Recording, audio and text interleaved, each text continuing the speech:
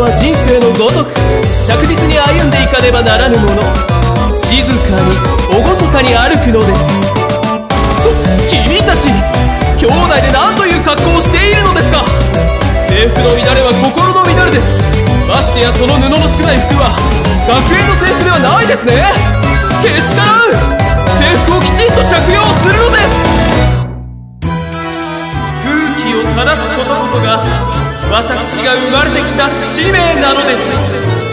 そんな学園の風紀がまたもやまたもや乱れている。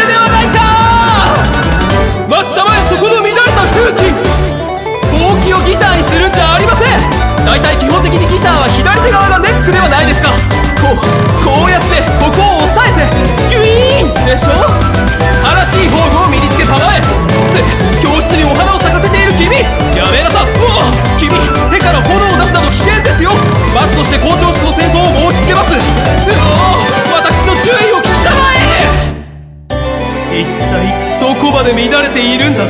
この学園の風紀は風紀の神を